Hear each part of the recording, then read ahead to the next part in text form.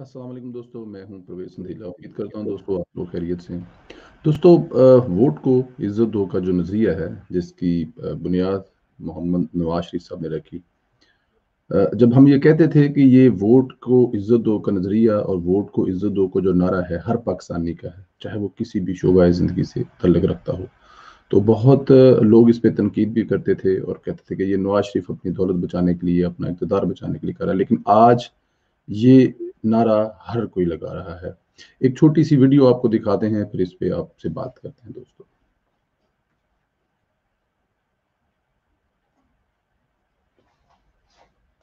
और सहाफ़ी, हमें अपना भी कोई सोच रखना चाहिए, हमारा भी कोई नज़रिया होना चाहिए। और कम अज़ कम मैं बतौर सहाफ़ी तो ये नज़रिया रखता हूँ कि नवाज़ शरीफ का माजी जो भी हो, आसफ जरदारी का जो भी हो और मरीम नवाज़ जो भी कहें या जो भी इल्ज़ाम हो, जो बातें आज वो कर रहे हैं, उनकी पुरानी बातों की बात नहीं कर रहे, जो आज वो जो बातें कर रहे हैं, वो सौ फ़ीसद दुरुस्त हैं। और हम जैसे पढ़े लिखों को, अगर नवाज़ शरीफ को हम पसंद नहीं करते तो वो जो बात कर रहे हैं, और जो मरीम नवाज़ या बिलावल भुट्टो जो बात कर रहे हैं, उस बात को पढ़े लिखे लोग जो हैं, वो डिनाई नहीं कर सकते, उसकी मुखालफत नहीं कर सकते। दोस्तों मतीउल्ला जान, जिनके बारे में मेरे ख्याल में पाकिस्तान का हर वो इंसान जानता है, जो सोशल मीडिया इस्तेमाल करता है, ज़ाहिर है मेन स्ट्रीम मीडिया पर उन पर पाबंदियाँ हैं। दौरे हाजिर का वो सिपाही जिसने सच बोलने के लिए जो मारे खाई, वो हमने अपनी आँखों से देखी। से पहले हम सुनते हैं फलां ने इतनी मार खाई फलां ने लेकिन कुछ मारें ऐसी हैं जो हम अपनी आँखों से देख चुके हैं। कि आपको लगता है कि ये सच को दबाएँगे या सच को नहीं बोलेंगे, ऐसा हो नहीं सकता। आज वो कह रहे हैं कि जो नारा नवाज़ शरीफ, मरियम नवाज़ और पीडीएम लेकर चली है, वोट को इज़्ज़त दो का इस मुल्क से सत्तर साल से जो किया जा रहा है, उसके खिलाफ जो वो आवाज़ लेके निकले हैं, वो आवाज़ बिल्कुल ठीक है। मतीउल्ला जान साहब, अगर आज ये कह रहे हैं और कल को जब इकतदार में आती है इनमें से कोई पार्टी तो ये उनके खिलाफ भी सच बोलेंगे। अगर कुछ गलत करेंगे तो भी करेंगे।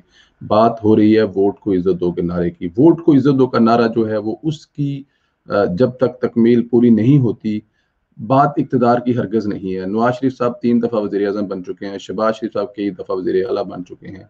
बिलावल भुट्टो जरदारी जो हैं, उनके वालदेन इस मुल्क के सदर और वजी अजम रहे हैं। मौलाना फजल मान साहब जो हैं, कई बार इस मुल्क में इकतदार में रहे हैं।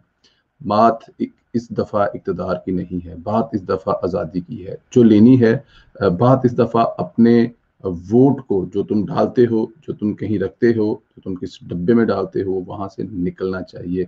जो मेम्बरान असम्बली हैं वज़ीर अजम हैं, उनको अलेक्ट करने का जो जो इख्तियार है, वो आपके वोट की पर्ची में है। और वहाँ से जो लोग काबिलियत की बना पर अलेक्ट होकर आएँगे, आप बिलीव करें तो फिर 2013 से लेके 2018 का जो एक एक पाकिस्तान की तारीख में अजीम तरीन दौर है, जिसमें हर वो काम हुआ जो कभी सोचा भी नहीं जा सकता था। तबाही के दहानों से खींच कर मियाँ मोहम्मद नवाज़ साहब वापस लेकर आए रोशनियों की तरफ़ तरक्कीों की तरफ़ मीशियत की बेहतरी की तरफ़ दहशत गर्दी से ख़ात्मे की तरफ़, वही कुछ होगा जब आप हकदारों को हक देंगे। और जब कुछ लोग बैठकर ये फैसला करेंगे कि किसने आना है और किसने नहीं आना है, जैसे कि एक हवाला दूँगा परवेज मुशरफ साहब के इंटरव्यू का कि 2000 जब ये इलेक्शन हुआ था मुशर्रफ वाला, जिसमें काफली मेट भी तो इमरान खान साहब को ऑफ़र की गई थी कि आठ से नौ सीटें ले ली। और मुशर्रफ मुशर्रफ साहब जो हैं, वो डंके की चोट पर मुबशर लकमान को इंटरव्यू दे रहे थे कि जनाब, आप दस सीटें ले लें और इमरान खान साहब कह रहे थे सौ सीट लेनी है। अब आप खुद इससे अंदाज़ा लगा लें कि वो लोग जो ये सब करते हैं, खुद टीवियों पर आकर बैठ मानते हैं और जब हम कहें तो हम गद्दार, हम कहें तो हम बुरे, ये तो होना पड़ेगा। मतील्ला जान की वीडियो शेयर करने का मकसद आप लोगों से सिर्फ़ ये था कि ये नारा, ये ये जो अब तमाम जमातों का बन चुका है, पाकिस्तान की ज़रूरत बन चुकी है। इंशाल्लाह दोस्तों, एक दूसरी वीडियो में आपसे मुलाकात होगी। अपना ख्याल रखें। खुदाफिज दोस्तों।